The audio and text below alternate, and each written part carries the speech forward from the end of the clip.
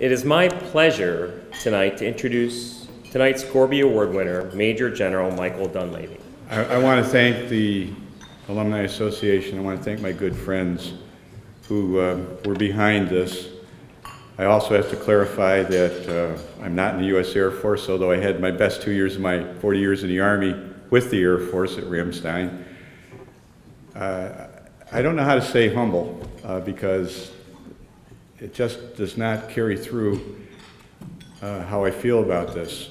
Ironically, I was at Gettysburg uh, right before our 50th class reunion this year and got on the uh, statue base with Father Corby and had a picture taken.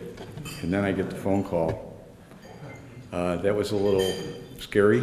Uh, I mean, I come out of the intelligence world and we do listen to what you have to say. Uh, but I'm supposed to be the one listening.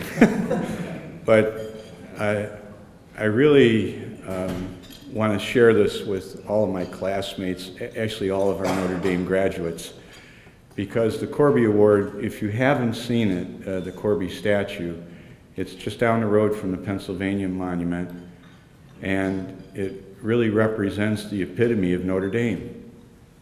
Um, it is God country in Notre Dame. But we were just, just talking tonight that we finally recovered one of my classmates, Joe Smith, whose plane went down uh, in Laos during the Vietnam War. Uh, we have quite a few more that uh, we've tried to find. Uh, but I've always been proud to be from Notre Dame. And it's, I, I, you know, we have ring knockers. We call ring knockers the guys from West Point and the Air Force Academy and the Naval Academy. Well, we have ring knockers too. There's been no place I've ever been that I didn't run into uh, a Notre Dame graduate. And the door has always been open. And the brotherhood and sisterhood that we have is so special. But this moment for me, uh, what can I say? Even the Coast Guard's represented tonight. and uh, we, we were, class of 67, pretty special. Uh, we paid a pretty steep price with the number of KIAs. As I pointed out, that uh, Kevin Burke and Pat Dixon were classmates, and because of our alphabet, we were not only in the same infantry officer basic class, we were in the same squad in that class.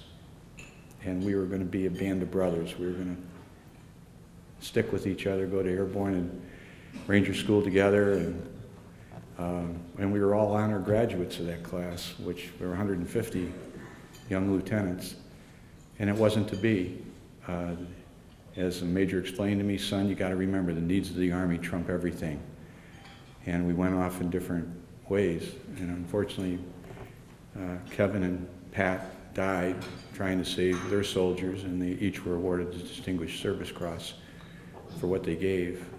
And it's nice to know that Joe finally came home, Joe Smith, because that was 40 years of searching, because we don't leave anybody behind.